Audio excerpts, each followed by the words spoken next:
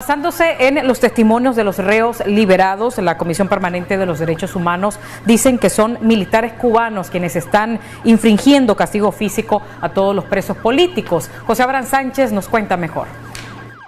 La Comisión Permanente de Derechos Humanos no se explica cómo el gobierno de turno habla de injerencismo cuando por testimonio de opositores capturados y después dejados en libertad se ha comprobado que supuestamente son mercenarios cubanos los que torturan y asesinan a los nicaragüenses que difieren con la política gubernamental. Así lo sostuvieron el matrimonio de Lisette Sequeira y Pedro Ortiz, quienes fueron detenidos el pasado sábado cuando apenas se organizaban en la marcha azul y blanco. Como dicen en el idioma nicaragüense como chancho, te tiran a la patrulla y se te encaraman encima, de rodillas, todos ellos sobre nuestros cuerpos.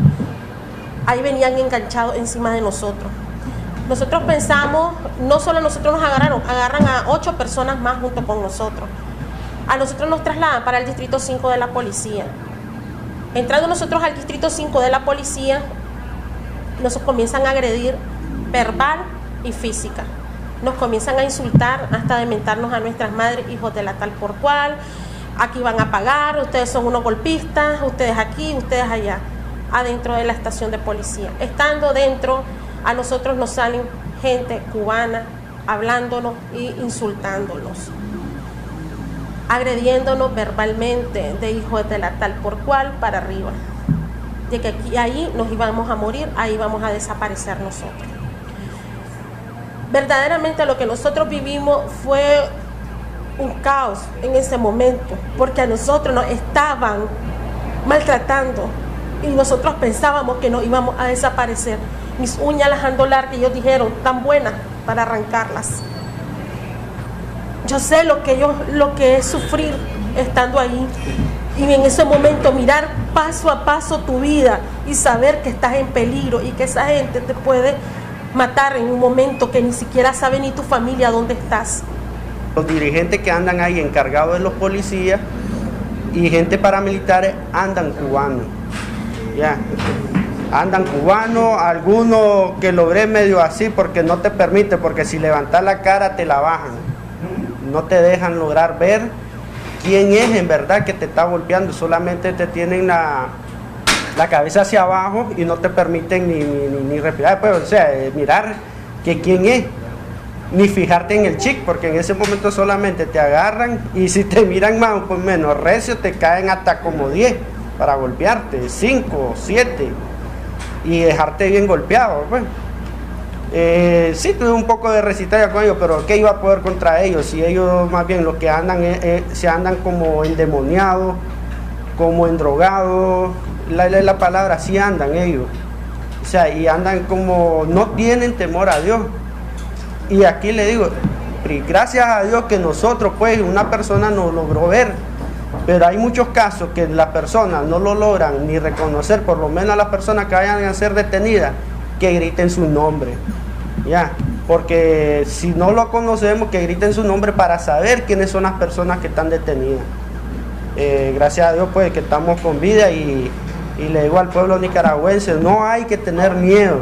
Los mercenarios cubanos son preparados militarmente y formados en el ateísmo, o sea, no creen en Dios, ni mucho menos respetan los derechos humanos. Cuerda y me la pusieron en, en las manos y me suspendieron y me empezaron a golpear la espalda. Y ahí están las fotografías empezaron a golpear la espalda, las costillas y decía uno con un acento como cubano, no le en el rostro, no le en el rostro. Y me decían, pero ¿quiénes son tus jefes? Entonces yo le decía, ¿dónde trabajas? Y yo le decía que yo era autoconvocado y que no tenía trabajo y que por eso marchaba para que hubiera trabajo en mi país. Y entonces me empezaron a golpear diciéndome, te vas a morir, decirle a todos los que andan marchando y si vuelven a venir que los vamos a matar. Y ahí yo les empecé a suplicar que ya no me golpearan, que ya no aguantaba mis brazos, no me sentía la mano derecha y, y entonces me, me bajaron y me empezaron a echar agua. Me echaron un abundante agua y después me fueron a dejar a la celda. Y yo les pedí que me regalaran agua.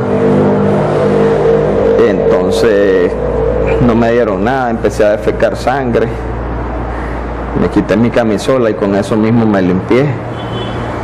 Y, y después en la madrugada me sacaron en una patrulla, igual vendado, y me dejaron propiamente de la rotonda universitaria dos cuadras hacia el, hacia el este, en una zona oscura. Cuando me quitaron la venda yo no, no reconocía dónde estaba. El joven refiere que quien dirigía la operación de tortura en su contra era un cubano. Pues. Y él refiere que él conoce muy bien el acento cubano porque él trabajaba para una empresa que era cubano, venezolana y nicaragüense, y que ahí habían asesores cubanos.